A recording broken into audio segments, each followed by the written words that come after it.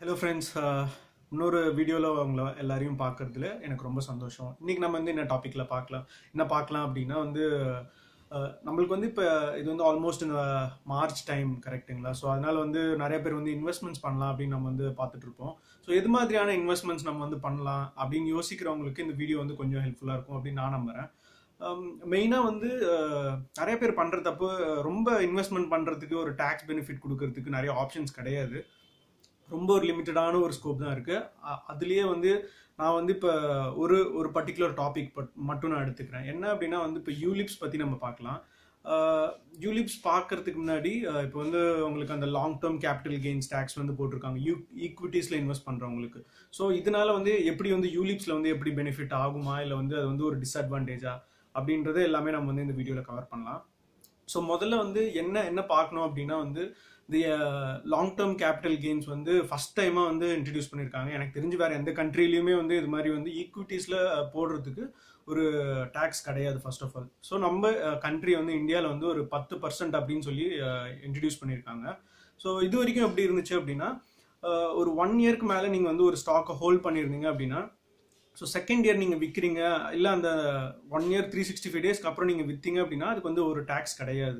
அந்த long term capital gains tax இல்லாமல் இருந்துச்சு. So first time they introduced it இதனால என்ன ஆகுது அப்படின்னு பார்த்தீங்கன்னா இப்போ வந்து மார்க்கெட்ஸ் நீங்கள் வந்து அந்த பட்ஜெட் முடிஞ்ச உடனே அடுத்த நாள் அதுக்கு ஒரு டூ த்ரீ டேஸில் நீங்கள் வந்து இம்பேக்ட் வந்து பார்த்துருப்பீங்க ஒரு thousand points two thousand five hundred points வரைக்கும் வந்து மார்க்கெட் வந்து டவுன் ஆச்சு. ஏன்னா இது இது வந்து ஒரு பெரிய நெகட்டிவாக வந்து பார்க்கப்பட்டது. பட் ஆனால் இது வந்து இப்படி யோசிச்சு பாருங்களேன். இப்போ வந்து நீங்கள் வந்து ஒரு வேலைக்கு போகிறீங்க இதில் வந்து இன்கம் டேக்ஸ் இருக்குது ஓகேயா நீங்கள் வந்து உங்களுடைய பிளட் அண்ட் ஸ்வெட் நீங்கள் கொடுத்து தினம் வந்து ஒரு ரியலாக போயிட்டு ஒரு இடத்துல உட்காந்து வேலை செஞ்சு ஒரு ஒரு அசம்ஷனுக்கு ஒரு பத்து லட்ச ரூபாய் நீங்கள் சம்பாதிக்கிறீங்கன்னு வச்சுக்கோங்க. நீங்கள் எந்த இன்வெஸ்ட்மெண்ட்டும் பண்ணல அப்படின்னா இல்லை நீங்கள் பண்ணியிருந்தீங்கன்னா பேஸ்ட் ஆன் உங்களுடைய இன்வெஸ்ட்மெண்ட்டை பொறுத்து ஒரு டுவெண்ட்டி பர்சன்ட்டோ இல்லை ஒரு தேர்ட்டி பர்சன்ட்டோ வந்து கவர்மெண்ட்டுக்கு ஒரு கட்டு போகுது இது வந்து நியாயமா அப்படின்னு பார்த்தீங்கன்னா இட்ஸ் டிபேட்டபிள் ஒரு டாபிக் தான். இது வந்து நம்மளால வந்து ஒரு சிலர் வந்து ரொம்ப தப்பு அவங்க பண்ணுறது அப்படின்னு சொல்லுவாங்க. ஒரு சிலர் வந்து அப்போ தான் வந்து இன்ஃப்ராஸ்ட்ரக்சர் டெவலப் ஆகும் அப்போ தான் எக்கனாமி வந்து டெவலப் ஆகும் இல்லை வந்து எப்படி சஸ்டெயின் பண்ணுவாங்க அப்படின்ற மாதிரியான விஷயங்கள்லாம் சொல்லுவாங்க. பட் என்ன நம் இப்போ புரிஞ்சுக்கணும் இதுக்கும் எல் அந்த லாங் டேர்ம் கேபிட்டல் கெயின்ஸ்க்கும் என்ன ஏன் வந்து நான் வந்து ரிலேட் பண்ணுறேன் அப்படின்னா இப்போ நீங்கள் வந்து சம்பாரிச்ச ஒரு காசு அதை எடுத்துகிட்டு போயிட்டு நீங்கள் ஒரு ஒரு இன்வெஸ்ட்மெண்ட்டில் மட்டும்தான் நீங்கள் போடுறீங்க. அதில் வந்து இட்ஸ் லைக் யுவர் சேவிங் நீங்கள் சேவ் பண்ணி அது வந்து ஒரு ஸ்டாக் வாங்குறீங்க ஒரு ஷேரோ ஒரு மியூச்சுவல் ஃபண்டோ ஏதோ ஒன்று வாங்குறீங்க. பட் ஆனால் என்ன ஆகுது அப்படின்னு பார்த்தீங்கன்னா நீங்கள் வந்து அங்கே டெய்லி போயிட்டு ஒன்றுமே பண்ண போகிறது கிடையாது. ஓகேயா நீங்கள் ரியலாக வந்து ஒரு வேலை பார்த்து பண்ணுறதுக்கே வந்து டுவெண்ட்டி தேர்ட்டி பர்சன்ட் வந்து கவர்மெண்ட் கட் எடுத்துக்கிறாங்க. ஸோ இதில் வந்து ஒரு பத்து பர்சன்ட்ன்றது ஒரு விஷயமே கிடையாது ஆக்சுவலாக ஸ்பீக்கிங் ஏன்னா வந்து நம்ம வந்து எண்ட் ஆஃப் டே நான் சொன்ன மாதிரி வந்து நம்ம வந்து இன்னும் அங்கே போயிட்டு வந்து ஒர்க் பண்ணல. இன்வெஸ்ட் பண்ணோம். அதில் லாபத்தில் தான் வந்து அவங்க வந்து ஒரு பர்சன்டேஜ் வந்து கட் கேட்குறாங்க இது வந்து பாசிட்டிவா நெகட்டிவான்றது நான் சொன்ன மாதிரி தட்ஸ் டிஃப்ரெண்ட் திங் பட் ஆனால் வந்து that's odd it is today right இப்போ யூலிப்ஸ் யூலிப்ஸில் வந்து இப்போ இது வரைக்கும் வந்து நிறைய பேர் சொல்லியிருப்பாங்க. என்ன அப்படின்னா வந்து உங்களுக்கு வந்து இன்வெஸ்ட்மெண்ட்டும் இருக்குது இன் uh, இன்சூரன்ஸும் இருக்குது உங்களுக்கு கவரேஜ் இருக்குது அப்படின்னு சொல்லியிருப்பாங்க. ரீசெண்டாக uh, ஒரு ஒரு நண்பர் வந்து என்னுடைய அந்த சேனலில் வந்து ஒரு யூலிப் பற்றி ஒரு வீடியோ போட்டிருந்தப்ப அவர் வந்து அதில் இருக்கிற பாசிட்டிவ்ஸ் மட்டும் சொன்னார். அதே மாதிரி ஏன் மியூச்சுவல் ஃபண்ட்ஸ் வந்து ஒரு நெகட்டிவ் அப்படின்றது சொன்னார். அதில் மெயினாக ஒரு எம்ஃபசிஸ் பண்ண பாயிண்ட் வந்து பார்த்தீங்கன்னா இந்த வந்து கேபிட்டல் கெயின்ஸ் டேக்ஸ் வந்து இன்ட்ரடியூஸ் பண்ணியிருக்காங்க பட் ஆனால் யூலிப்ஸில் வந்து இது மாதிரி கிடையாது அப்படின்னு சொல்லியிருந்தார். நான் ஏற்கனவே சொல்லிட்டேன். பத்து பர்சன்ட் நீங்கள் வந்து சொந்தமாக நீங்கள் வந்து ஒரு வேலைக்கு போயிட்டு இன்கம் டேக்ஸு இன்கம் டேக்ஸே வந்து டுவெண்ட்டி தேர்ட்டி பர்சன்ட் நீங்கள் கட்டக்குள்ள கேபிட்டல் கெயின்ஸ் டேக்ஸ் வந்து ஒரு பத்து பர்சன்ட்ன்றது ஒரு பெரிய விஷயமே இல்லை. இன்ஃபேக்ட் வந்து அது கொஞ்சம் ஜாஸ்தியாக இருந்தால் கூட நான் வந்து சந்தோஷமாக கொடுக்கறது தவிர வேறு வழி கிடையாது. டுவெண்ட்டி பர்சன்ட்னா கூட வந்து கேபிட்டல் கெயின்ஸ் டேக்ஸ் கட்டிட்டு போயிட்டே இருக்க வேண்டியதுதான். அதுதான் என்னுடைய வியூ பட் ஆனால் இவர் வந்து எல்டி அந்த கேபிட்டல் கெயின்ஸ் வந்து இதில் இருக்குது ஆனால் யூலிப்பில் வந்து அது இல்லை. அதே மாதிரி வந்து மார்க்கெட் வந்து க- கம்மியாச்சுன்னா வந்து ஈக்விட்டிஸில் வந்து உங்களுடைய போர்ட்ஃபோலியோ பெரிய அளவுக்கு அடிபடும் அப்படின்லாம் சொன்னார். பட் ஆனால் நான் சொன்ன மாதிரி இப்போ நீங்கள் எதில் தான் இன்வெஸ்ட் பண்ணலாம் அப்படின்னா யூலிப்ஸ் வந்து கண்டிப்பாக வந்து தவிர்த்துருங்க. அந்த நண்பருக்கும் நான் சொல்ல வேண்டிய சொல்ல விருப்பப்படுறதும் இதுதான். ஸோ கண்டிப்பாக வந்து யூலிப்ஸ் வந்து போவே போகாதீங்க. ஏன் அப்படின்னா இன்வெஸ்ட்மெண்ட்டும் இன்சூரன்ஸும் வந்து நீங்கள் கிளப்பே பண்ணக்கூடாது ஃபர்ஸ்ட் ஆஃப் ஆல் அப்படி கிளப் பண்ணீங்கன்னா நான் மட்டும் சொல்லலை இது நீங்கள் வந்து ஜென்ரலாக வந்து யூலிப் வர்சஸ் ஈக்விட்டிஸ் அப்படின்னு நீங்கள் வந்து கூகுளில் சர்ச் பண்ணி ஒரு டாப் லா பிளாகு பிளாகர்ஸ்லாம் இருக்காங்க. அவங்க என்ன சொல்கிறாங்கன்னு நீங்கள் போய் பாருங்கள் யாருமே வந்து ரெக்கமெண்டே பண்ண மாட்டாங்க. இன்கேஸ் அவங்க ரெக்கமெண்ட் பண்ணாங்க அப்படின்னா அவங்களுக்கு வந்து அதில் பெரிய ஒரு கமிஷன் இருக்குது அப்படின்றத நீங்கள் வந்து புரிஞ்சுக்கலாம். இதனால தான் வந்து யூலிப்பில் வந்து நீங்கள் வந்து கண்டிப்பாக காசு போடாதீங்க. அவங்க சொல்லுவாங்க நீங்கள் வந்து ஒரு ஃபிஃப்டீன் டேஸ் நீங்கள் வந்து இன்வெஸ்ட் பண்ணிவிடுங்க பட் ஆனால் வந்து ஃபிஃப்டீன் டேஸ் டைம்க்குள்ளே நீங்கள் வந்து வேணாம்னா எடுத்துக்கலாம் அப்படின்னு சொல்லுவாங்க. நீங்கள் அந்த ஃபிஃப்டீன் டேஸ்க்கு வெயிட் பண்ணுறதுக்கு நீங்கள் நல்லா யோசிச்சு அதில் வேணாம் அப்படின்றதே நீங்கள் டிசைட் பண்ணிட்டு போயிடலாம். சொன்ன மாதிரி இன்சூரன்ஸுக்கு நீங்கள் தனியாக வந்து ஒரு டேர்ம் பிளான் எடுத்துக்கலாம். ஒரு கோடி ரூபாய்க்கு ஒரு இருபத்தஞ்சு வயசுலேருந்து ஒரு முப்பது வயசு இருக்கிறவருக்கு ஒரு வருஷத்துக்கு ஒரு ten thousand to twelve thousand தான் ஆகும். இதே ஆன்லைனில் எடுத்திங்கன்னா அதுலேயே வந்து ஒரு ஃபிஃப்டி பர்சன்ட் வரைக்கும் உங்களால் சேவ் பண்ண முடியும். ஒரு seven thousand five hundred to eight thousand rupees வரைக்கும் சேவ் பண்ண முடியும் உங்களால்.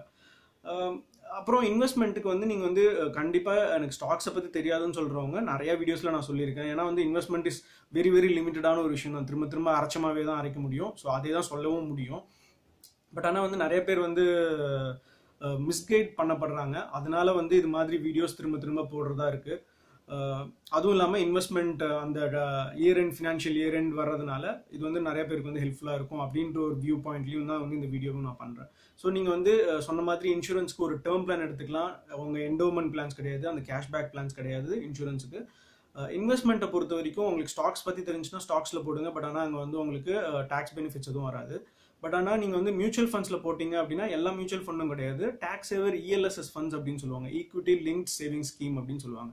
ஸோ அதில் மட்டும் நீங்கள் வந்து செலக்ட் பண்ணி நீங்கள் வந்து உங்களுடைய இன்வெஸ்ட்மெண்ட் இன் அங்கே போட்டிங்க அப்படின்னா உங்களுடைய இன்கம்மை பொறுத்து அங்கே இன்வெஸ்ட் பண்ணீங்க அப்படின்னா கண்டிப்பாக வந்து அதுக்கு வந்து உங்களுக்கு டேக்ஸ் பெனிஃபிட் இந்த வருஷத்துக்கு இருக்கும். பட் ஆனால் அது வித்துட்டு வெளில வரக்குள்ளே இந்த வருஷத்துலேருந்து அதாவது வந்து நெக்ஸ்ட் இயர்லேருந்து இந்த ஏப்ரல் ஃபர்ஸ்ட்ல இருந்து என்ன ஆகுது அப்படின்னா அதுக்கு வந்து ஒரு டென் பர்சன்ட் நான் ஏற்கனவே பார்த்த மாதிரி டென் பர்சன்ட் வந்து அதுக்கு டேக்ஸ் இருக்குது ஸோ அது வந்து ரொம்ப பெரிய அமௌண்ட்லாம் ஒன்றும் வந்துடாது ஒரு லட்ச ரூபாய் நீங்கள் போட்டிருக்கீங்க அப்படின்னா அது வந்து இப்போ திரும்ப நீங்கள் விற்கக்குள்ள ஒரு எக்ஸாம்பிளுக்கு ஒரு டூ லேக்ஸ் ஆகுது அப்படின்னு வச்சுக்கோங்க. ஸோ அந்த டூ லேக்ஸ் மைனஸ் வந்து ஒன் லேக் பண்ணிடுவாங்க. ஏன்னா வந்து ஒன் லேக் வரைக்கும் வந்து கேபிட்டல் கெயின்ஸ் டேக்ஸ் இல்லை அப்படின்னு சொல்லியிருக்காங்க. ஸோ அந்த இன்னும் இருக்கிற ஒன் லேக்குக்கு டென் பர்சன்ட் அப்படின்னு பார்த்தீங்கன்னா பத்து பர்சன்ட் வரும். ஸோ அந்த பத்து பர்சன்ட்னா பத்தாயிரம் ரூபாய். ஸோ பத்தாயிரத்துக்கு மேலே வந்து ஒரு செஸ் ஆட் பண்ணுவாங்க. அது ஒரு ஒடவர் த்ரீ ஃபோர் த்ரீ பர்சன்ட்டோ ஃபோர் பர்சன்ட்டோ போட்டுட்டு அதுக்கப்புறமா வந்து டோட்டலாக நீங்கள் பார்த்தீங்கன்னா வந்து ஒரு பதிமூணாயிரத்துலேருந்து ஒரு பதினாலாயிரம் ரூபாய் கட்டுற மாதிரி இருக்கும். Which is no big deal at all என்ன கேட்டிங்கன்னா. நீங்கள் வந்து ஒரு யூலிப் மாதிரி ஒரு பிளானில் போயிட்டு இன்வெஸ்ட் பண்ணுறதுக்கு பதிலாக அதில் வந்து உங்களுக்கு ரொம்ப லாங் டேர்மில் நீங்கள் இன்வெஸ்ட் பண்ணணும். அதுவும் இல்லாமல் ரிட்டர்ன்ஸ் வந்து ரொம்ப கம்மி. ஏன்னா வந்து இன்சூரன்ஸ் கூட கிளப் ஆகுறதுனால அவங்க வந்து அந்த மோர்டாலிட்டி சார்ஜஸ் அதெல்லாமே ஆட் பண்ணிடுவாங்க அதில். இந்த நண்பர் அவர் சொன்னார் இல்லை அவர் வந்து சொன்னார் இது மாதிரி நான் வந்து ப ரெண்டாயிரத்தி பத்துலேருந்து நான் இன்வெஸ்ட் பண்ணிட்டு இருக்கேன்.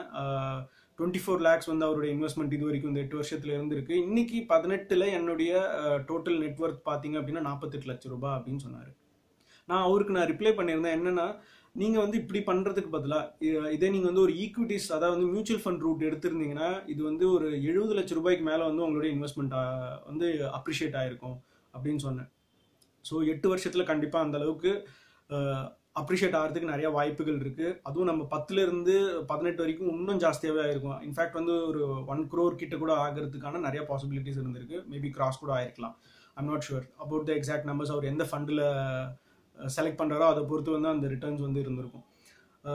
ஸோ நான் நான் சொன்ன மாதிரி நான் எல்லா இன்வெஸ்ட்மெண்ட் ஆஸ்பெக்ட்ஸும் நான் எடுக்கல. டேக்ஸ் சேவிங்க்கு நான் வந்து யூலிப்ஸ் வந்து தவிர்த்துட்டு டேக்ஸ் சேவர் இஎல்எஸ்எஸ் ஃபண்ட்ஸில் மட்டும் இன்வெஸ்ட் பண்ணலாம் அப்படின்றதுக்கு எனக்கு தெரிஞ்ச ஒரு சில பாயிண்ட்ஸ் நான் வச்சேன். அதே மாதிரி ஒரு சிலர் கேட்ட கொஷின்ஸும் அவங்களுக்கு இருந்த பாயிண்ட்டையும் நான் வந்து எப்படி பார்க்குறேன் அப்படின்னு சொல்கிறது தான் இந்த வீடியோவுடைய ஹோல் ஐடியா ஹோப் இந்த வீடியோ வந்து இன்ஃபர்மேட்டிவாக இருந்திருக்கும். அதே மாதிரி யோசித்து நிறையா விஷயங்கள் படித்து பார்த்துட்டு நான் சொன்னதை ம மனசுலையும் வச்சுக்கோங்க. கரெக்டான இடத்துல இன்வெஸ்ட் பண்ணுங்க. எண்ட் ஆஃப் டே நீங்கள் பண்ணுற இன்வெஸ்ட்மெண்ட் ஒரு ஒரு இன்வெஸ்ட்மெண்ட்டும் வந்து ஒரு லாங் டேர்மில் அவங்களுக்கு தான் ஹெல்ப்ஃபுல்லாக இருக்க போகுதுன்றதை மனசில் வச்சுக்கோங்க. இன்னொரு வீடியோவில் பார்க்கலாம். நான் உங்கள் கார்த்திக். இது உங்கள் smart and fools channel bye